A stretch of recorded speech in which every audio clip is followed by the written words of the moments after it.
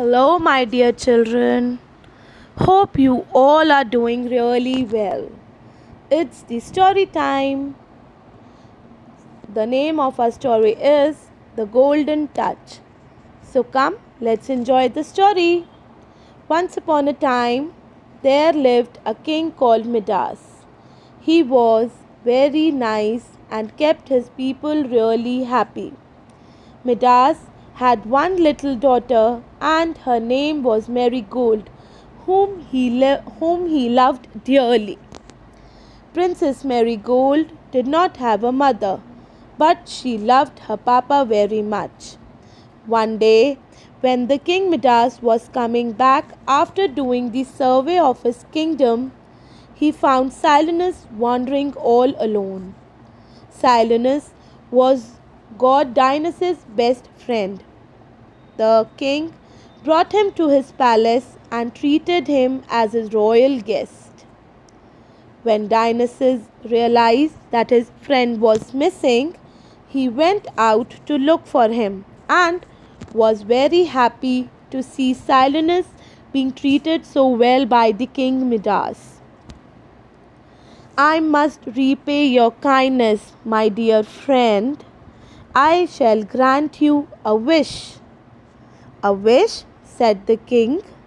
Yes, my dear, whatever you like. Whatever I like? Yes, yes.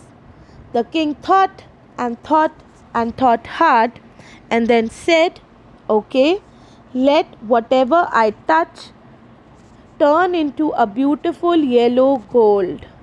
A gold? Are you sure? Think again. You may regret it. I am all prepared to take the risk, said the king. Okay, then, your wish is granted. From sunrise tomorrow, you touch anything will turn everything into yellow gold. But don't say I didn't warn you. And then Dionysus left with his dear friend. Midas was very excited and couldn't sleep that night. He was thinking that if God's promise will really come true. The very next day, the king jumped out of his bed, and the moment he touched the floor, guess what, children? The floor turned into beautiful yellow gold. He touched his bed, his pillow, his couch, and the God's promise was really working. Yes, the magic happened. Everything was shining into yellow, yellow, beautiful gold.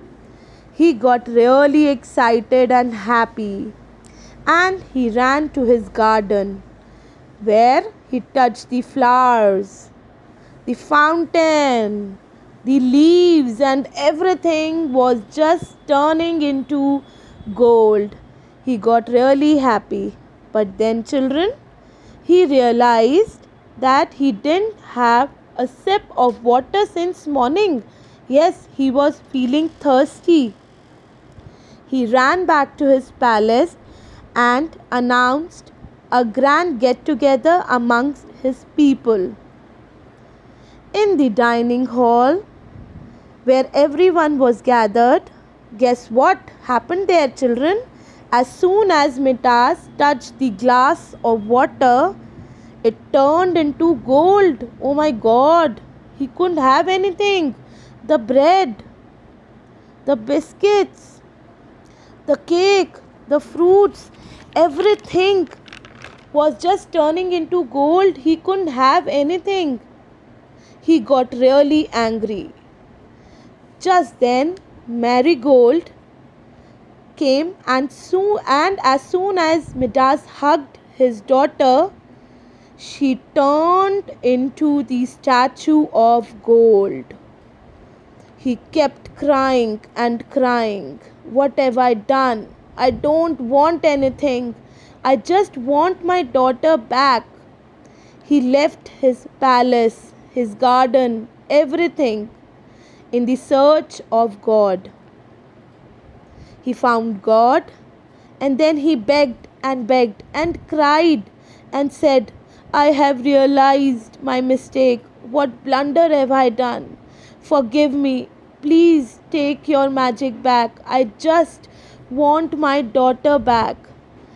God was kind to him and said, Don't worry, my dear friend. Just go and take a bath in the river and fill the pitcher of that water and go and sprinkle that water on whatever has turned into gold. He did the same thing. He filled the pitcher of the water and sprinkled that water onto his daughter. And then Marigold, she returned to her normal human self. She gave him a kiss. Both of them cried and cried. He went to his garden where he sprinkled that water onto everything which was turned into gold. And everything was just shining and blooming as before. Both of them cherished their food and lived happily ever after. So, children, how was the story? I hope you have all liked the story.